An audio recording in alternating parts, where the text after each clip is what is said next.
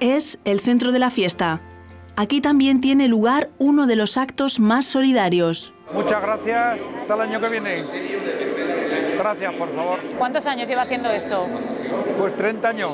Yo soy el vicepresidente del Grupo Aragones El Pilar. Me incorporé hace 30 años al grupo y esta tarde dirigiremos el Rosario, que soy el director de procesión. ¿Es para usted los días más importantes del año, los días Pues del sí, Pilar? más este año. ¿Por qué? ¿Se emociona? Falleció mi mujer hace año y medio. Falleció su mujer. Lo tiene muy presente estos días. Hemos ido, yo sé que está con la Virgen. Todo sea por la Virgen, todo lo que oímos para el refugio y las demás casas de asistencia que se reparten los alimentos. Gracias, ¿sí? Hombre, para eso estamos. Ya se ha llevado una furgoneta, ¿no? Ya se han llevado una furgoneta, ya estamos terminando esta. Sí, los alimentos son recepcionados por el Grupo El Pilar junto con la Hermandad del Refugio. Los llevamos a nuestras instalaciones. Allí lo que hacemos es clasificarlo y pesarlo y vamos preparando cinco lotes que nos ha dicho el Cabildo a qué entidades tenemos que repartirlos. Y más especialmente este año porque hay nuevos pobres, eh, gente que con el gas y la electricidad no llega para hacer esta compra, por lo cual les va a venir eh, de una gran ayuda todo esto.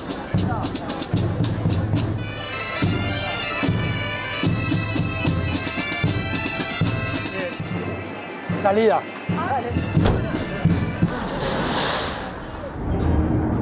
Ahora lo peséis todo y por un lado separéis lo que es fruta y verdura y por otro lado separéis lo que son embutidos. ¿Cuántas personas de la Hermandad del Refugio estáis hoy involucrados en la Hoy de estamos frutos? 25 personas eh, trabajando. Ya hemos quedado con las otras cuatro entidades a que vengan a recogerlo. Aquí lo estamos ya todo pesando.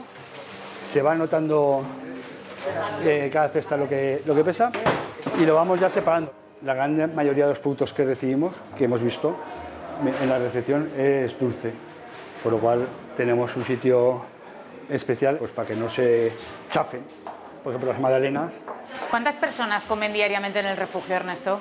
Nuestra capacidad son de 66 personas, más los 53 niños de la guardería. ¿Y se llena todos los días del año? Sí, sí.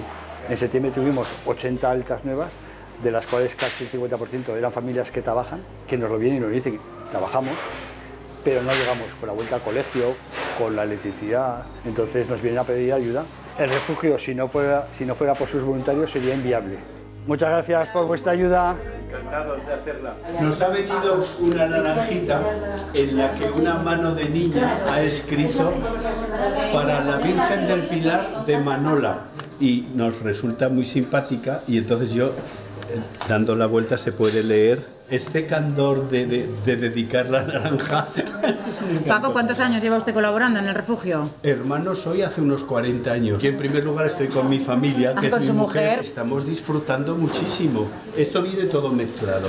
Y luego pues hay que poner los pimientos con los pimientos, cada oveja con su pareja, ¿Y ustedes dedican su tiempo a esto? todo el día.